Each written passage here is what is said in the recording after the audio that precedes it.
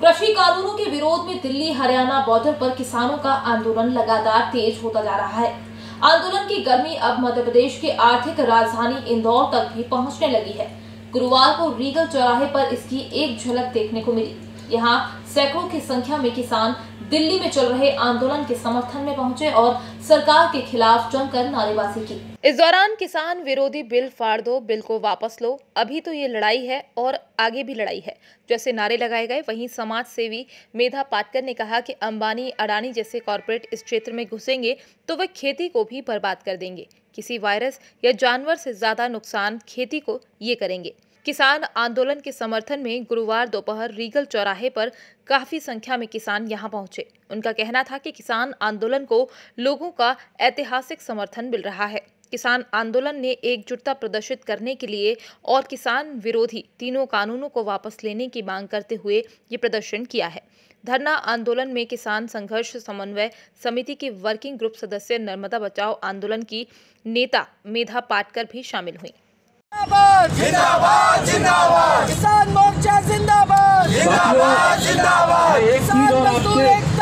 चलेंगे। किसान विरोधी बिल वापस लो। कॉर्पोरेट की दलाली करना बंद कर हम लोग शुक्रगुजार हैं और उनको सलाम करते हैं और आज ये समय आया है कि देश को बेचने वालों के सामने जो मान्यवरों ने पहले सरकार के पुरस्कार स्वीकार हैं वो विविध क्षेत्रों के मान्यवर जो किसानों के साथ दे दे और उसके प्रतीक में ही अपने पुरस्कार वापस करके सरकार को एक तमाचा मारे।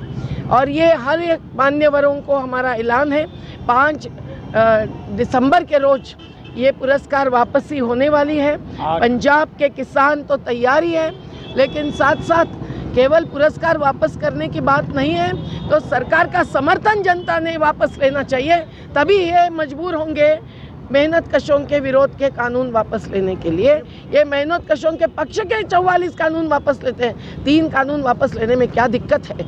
अगर वो मानेंगे कि इस देश का किसान मजदूर देश को चलाता है तो मोदी जी मंजूर करेंगे, अन्यथा हम लड़ेंगे और ये जो हमारा अभियान चल रहा है, ये जो दिल्ली में किसानों को, सवालों को लेकर जो आंदोलन चल रहा है, वो आंदोलन का आज सातवां दिन है। और जिस तरह का सरकार उसमें रोक लगा रही है। या जिस प्रकार सरकार वहाँ कार्रवाई कर रही है कि खड्डे खोद देना, आतंक करना इस तरह आतंकवादियों जैसा व्यवहार किसानों के साथ किया जा रहा है। जबकि किसान अन्नदाता होता है और वो लोगों को जोड़ने का काम करता है।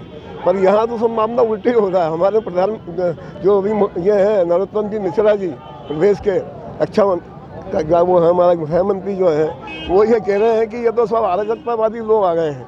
हम कहना चाहते हैं, अराजकतावादी लोग नहीं हैं, आप अपनी बात को ख़त्म करें, क्योंकि आप लोग खुद अराजकता फैलाने का काम कर रहे हैं। और इसके खिलाफ पूरे देश के अंदर ये काले कानून आए हैं, इसके खिलाफ पूरे देश का किसान संगठन, नौजवान और मजदूर किसान संगठन, सब मिलकर के हमला कर रहे हैं। क्योंकि सरकार की नीयत गलत है, वो बहुमत आबादी के ऊपर हमला कर रही है।